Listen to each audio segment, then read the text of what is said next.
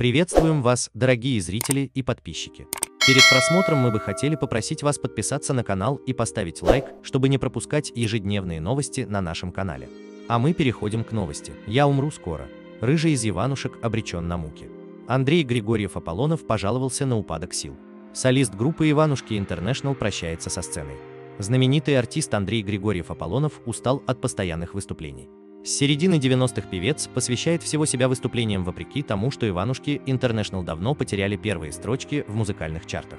Член группы Кирилл Туриченко заявил, что рыжий вокалист готов поставить крест на карьере. Григорьев Аполлонов периодически прощается со сценой, намереваясь уйти на заслуженный отдых, но коллеги его не отпускают.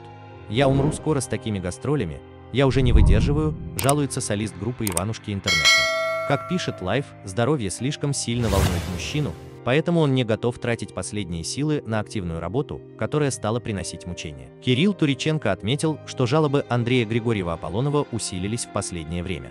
Коллега твердит рыжему певцу, что гастролировать придется до тех пор, пока у публики будет спрос.